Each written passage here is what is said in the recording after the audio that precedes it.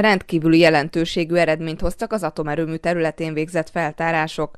A július 16-án talált sírok feltárási munkálatai lezárultak. Két férfi és két kislány maradványait találták meg.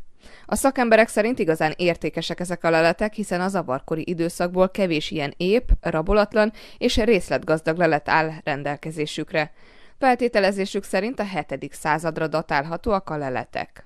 Találtunk egy kis, kisebb vastárgyat, ami valószínűleg a fegyvere lehetett.